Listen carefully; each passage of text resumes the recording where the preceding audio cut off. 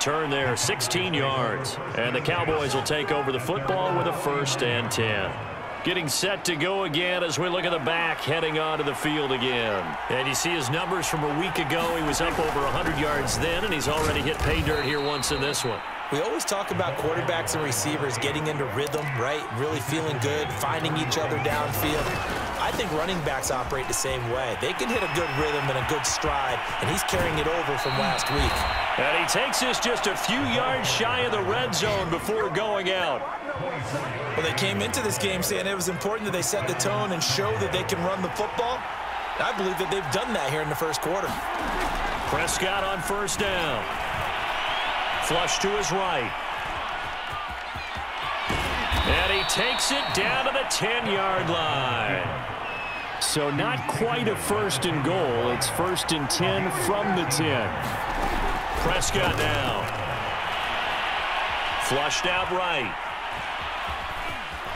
And he'll take it into the end zone for a Cowboy touchdown.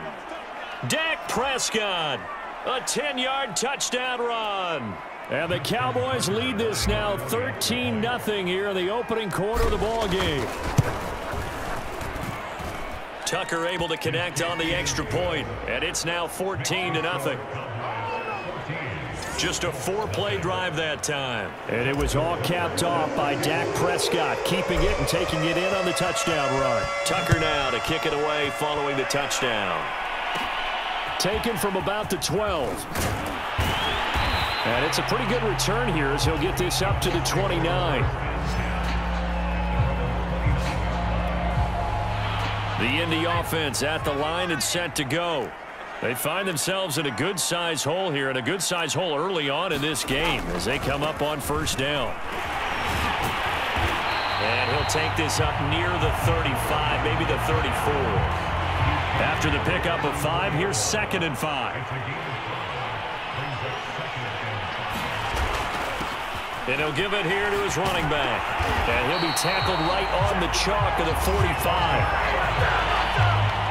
I have to admit, I'm excited by that play call and the end result because this is a team that's down big early in the first quarter, and a lot of teams will just panic, abandon the playbook, and just start firing the ball all over the place. It's way too early for that. St and he can't find a receiver, and he's brought down. Micah Parsons. What a season he continues to have. His 15th sack of the campaign. Well, last game he had two sacks. Got another one here picked up right where he left off. Brandon, he spent the entire offseason working on new moves, new techniques, trying to add to his arsenal of pass rush moves.